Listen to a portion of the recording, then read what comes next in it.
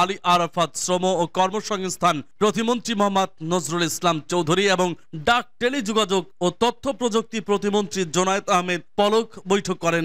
এছাড়াও বৈঠকে সংশ্লিষ্ট মন্ত্রণালয়ের সিনিয়র সচিব, পুলিশ মহাপরিদর্শক, র্যাবের মহাপরিচালক সহ আইন শৃঙ্খলা বাহিনীর শীর্ষ কর্মকর্তারা উপস্থিত ছিলেন। এদিকে মঙ্গলবার দুপুরে আইনমন্ত্রী আনিসুল হক বলেছেন, সরকারের নির্বাহী আদেশে আগামীকাল বুধবারের মধ্যেই নিষিদ্ধ ঘোষণা হচ্ছে বাংলাদেশ জামায়াতে ইসলামী ও ইসলামী ছাত্র শিবির। এর আগে সোমবার বাংলাদেশ জামায়াতে ইসলামী ও তাদের ছাত্র সংগঠন ইসলামী ছাত্র শিবিরকে দেশের রাজনীতিতে নিষিদ্ধ করতে একমত হয় আওয়ামী লীগের নেতৃত্বাধীন চোদ্দ দলীয় জোট। প্রধানমন্ত্রী শেখ হাসিনার সরকারি বাসভবন গণভবনে অনুষ্ঠিত জোটের বৈঠকে সর্বসম্মতভাবে এ সিদ্ধান্ত গৃহীত হয়।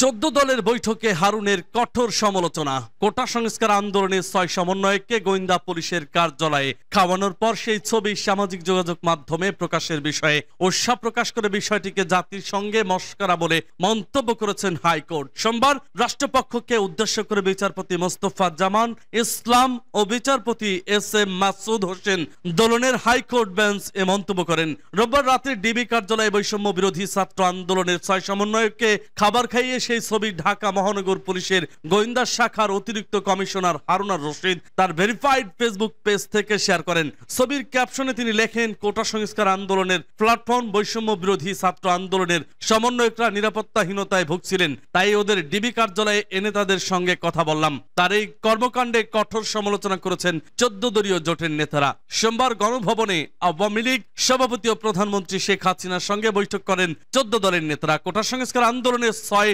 সমন্বয়কের সঙ্গে খাবার গ্রহণের ছবি ডিবি হারুনের ফেসবুক পেজে পোস্ট করার বিষয়টি নিয়ে বৈঠকে আলোচনা হয়। বৈঠকে বিষয়টি নিয়ে রাশেদ খান, মেনন ছাড়াও জাসদ সভাপতি হাসানুল হক ইনুদ তরিকত ফেডারেশনের চেয়ারম্যান নজিবুল বসার মাইজ ভান্ডারী সহ একাধিক নেতা কথা বলেন বলে বৈঠক সূত্রে জানা গেছে। জরুরি বৈঠকে সাত মন্ত্রী, প্রতিমন্ত্রী সহ আইন শৃঙ্খলা বাহিনীর প্রধানরা।